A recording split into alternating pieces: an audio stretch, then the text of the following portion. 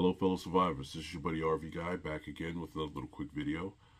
And today guys, um, I want to talk about two products that helped me out during the COVID pandemic.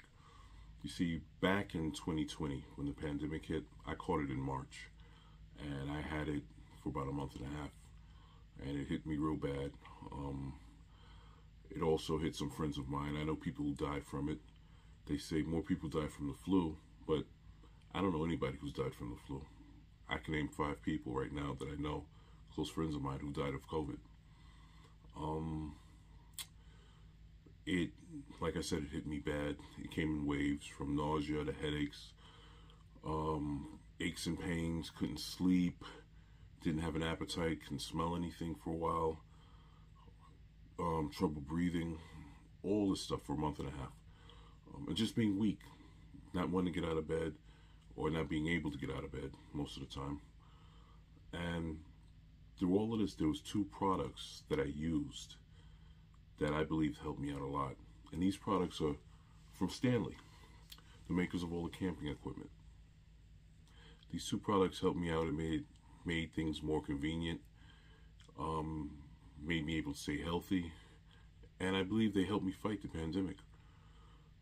So today, guys, I want to show you what those two products are and why I think they're so valuable and why I think that maybe you should consider getting them for the same reason. Because COVID showed us that anything can happen. So that's what we're going to talk about today on the Extreme Dream Survival Channel.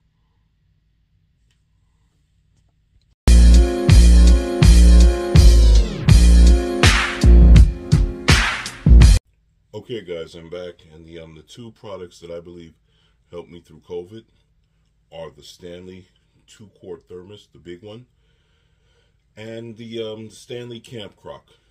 Now, why I say these two products helped me through COVID and why I'm so thankful that I had them is because COVID knocked me off my feet, and I was weak.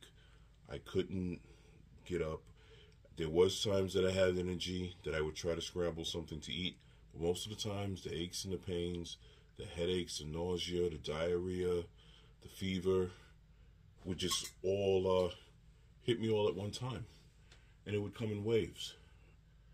But with these two items, what I was able to do was, well, number one, let's move this out of the way for a moment. Let's concentrate on the thermos. I knew I had to drink a lot of teas, guys. Um, I drank a lot of green tea with lemon. Um, but a lot of times I didn't have the energy to get up to make the tea. But when I did, what I would do is I'd make a whole two quarts full of tea and put a lot of lemon inside. Okay? Green tea with lemon. And if this is done correctly, um, you'd have tea. I'd have tea for like two, three days. Bedside tea next to my nightstand that I could drink. And that citrus from the lemon is something that I believe helped knock the COVID out of my system. See, what I would do is I'd cut up a lot of lemons, like two or three lemons, put inside here with three or four green tea bags and hot water, and I would have tea for almost three days. And it would stay hot. You see, this is a two quart thermos, and um, if you do it the right way, which is you have to prime it first. You have to open it up, take off the top, okay?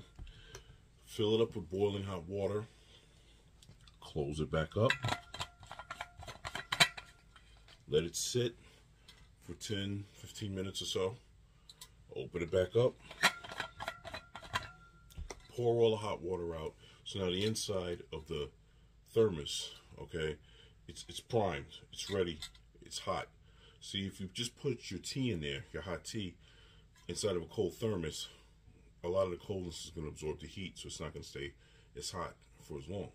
Once you prime it and it's ready to go, you'll have about two or three days out of this, guys, which is excellent. And it is two quarts. This is the big boy. So I had a lot of tea. And I would sit by my bed and I would drink the tea and I would drink all that citrus. And I didn't have to, when I didn't have the energy to get up, I could just reach over, pour the tea into the little thing it came in, drink, And I believe this really helped me beat the COVID, guys. I believe this really helped me fight the pandemic. Um, like I said, this is the big boy. It'll keep your stuff hot for three days. And this helped me out. I have to I have to say thank you to Stanley because this really helped me out. Okay, that's number one.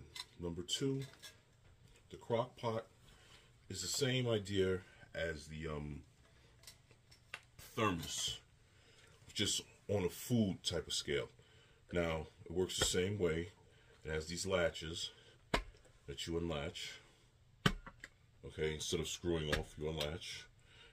It's airtight, it's watertight, which means your food is going to stay safe once you cook it. It's not going to spoil, it's not going to go bad, it's going to stay hot. Okay, there's the inside. It's a very big, big size uh, crock. And what I would do is, when I did have the energy and I found that I could get up, I'd make chilies, stews, soup, gumbo, whatever I could keep in here. And you do the same thing. You fill it with hot water, prime it, get it ready, put the lid on it, let it sit for 15 minutes, pour the hot water out, put your finished product in there steaming hot. Close it. Okay. Snap on the lids. Um, the little snaps, snap them down.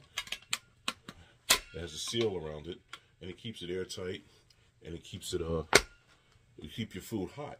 Now, this will keep your food hot for um, 12 hours, guys. And it'll keep stuff cold for 16 hours. So 12 hours of hot food, that's a whole day. And I didn't have to worry about, if I was too weak, getting up and um, cooking because I already had my food. I had my soup, I had my chili, I had my stew. And even though COVID took your appetite, you had to eat. And you had to eat healthy, guys. You, you not the McDonald's or the Chinese food or the Burger King, and it's the healthy food uh, with vegetables in it, vitamins and minerals, and and this helped me out because I had my food and I had my drink.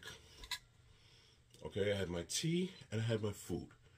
Um, these two items are definitely worth it, just for the fact that you can keep food in there for so long. All right. Like I said, if it's done right, priming it first with hot water, you're able to have food and drink for about two days. And that'll help you if you're sick in bed. Not only that, let's let's say you're not sick. Let's say you're camping. Two great items to have, right? You can get up early, make a bunch of food, make whatever you want, put it in here, seal it up, make your coffee or tea for the day, and you've got food to last all day long. Or from a survival standpoint, um, you kill an animal right? You're out there surviving in the wilderness. Shit hits the fan. You got to go into the woods. You kill an animal. You kill uh, a small rabbit. When you you you make some type of rabbit stew or something. Prime it. Put the boiling water inside of it. Put it inside. Cut the rabbit up. Put whatever else you have to go with it. Some potatoes, carrots, or whatever. Put it in there. Put this in the bottom of your bag, and you've got food to last you a couple of days.